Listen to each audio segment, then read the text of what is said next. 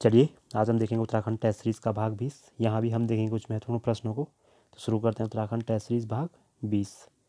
आज का हमारा पहला प्रश्न है, सर्वप्रथम किस राजनीतिक पार्टी ने पृथक राज्य उत्तराखंड की मांग की? तो सर्वप्रथम किस राजनीतिक पार्टी ने उत्तराखंड की मांग की थी? तो इसका सही आंसर हो जाएगा, भारतीय कम्युनिस्ट पार्टी।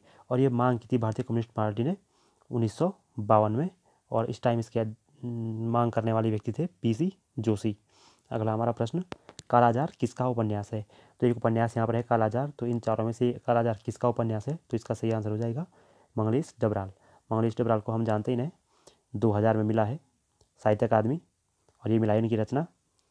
हम जो देखते हैं के लिए, हम जो देखते हैं। टीरी से संबंध, टीरी से संबंधित हमारे ये साहित्यकार हैं काफलपानी गाँव, टीरी में इनका जन्म हुआ था। अगला हमारा प्रश्न, महात्मा गांधी की कुमाऊं यात्रा पुस्तक के लेखक कौन है? तो एक पुस्तक है महात्मा गांधी की कुमाऊं यात्रा। तो इसके जो लेखक हैं, ये हैं देवेंद्र उपाध्याय।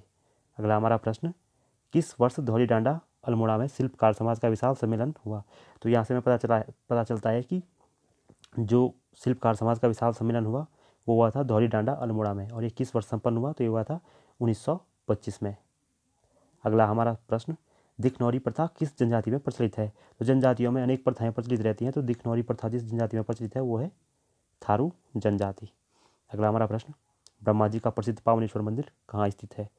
तो ब्रह्मा जी के बहुत कम मंदिर में देखने को मिलते हैं तो उन्हीं में से एक पावनेश्वर मंदिर जो उत्तराखंड में है ये है अल्मोड़ा में। अगला हमारा प्रश्न, गढ़वाली भाषा और उसका साहित्य पुस्तक के लेखक कौन है? तो गढ़वाली भाषा और उसका साहित्य ये किसकी पुस्तक है? तो इसका सही आंसर हो जाएगा हरिदत्त भट्ट। हरिदत्त भट्ट को हम जानते हैं शैलेश नाम से भी। शैलेश नाम से भी हम इनको जानते हैं। अगला हमारा प्रश्न उत्तराखंड की लोक गाथाएँ पुस्तक के लेखक हैं। तो उत्तराखंड की लोक गाथाएँ पुस्तक के लेखक कौन हैं? तो इसके लेखक हैं शिवानंद नौटियाल। शिवानंद नौटियाल की एक अन्य पुस्तक है गढ़वाल के लोक नृत्य। अगला हमारा प्रश्न, सर्वदलीय संघर्ष समिति का गठन राज्य में कब हुआ? तो सर्वदलीय संघर्ष समिति का गठन राज्य में हुआ था 1955 में और इसका गठन करने वाले व्यक्ति थे पीसी जोशी, जिन्होंने उन्नीस सौ बावन में उत्तराखंड की पृथक राज्य की मांग भी की थी। अगला हमारा प्रश्न गुप्त काल में गढ़वाल कुमाऊं हेतु प्रयुक्त सप्ताह तो गुप्त काल में गढ़वाल और कुमाऊं को किस नाम से जाना जाता था? तो इसका सही आंसर है, कर्तिपुर। और ये हमें मिला है प्रयाग प्रशस्ति में। प्रयाग प्रशस्ति में हाँ इस क्षेत्र के लिए प्रशस्ति में इस क्षेत्र को कहा गया है, कर्तिपुर। अगला हमारा प्रश्न hill dialects of the Kumaon division किसकी पुस्तक है?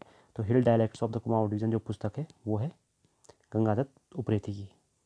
अगला हमारा प्रश्न, देवात्मा हिमालय किसकी रचना है? तो देवात्मा हिमालय जो रचना है, वो है पी के सान्याल की।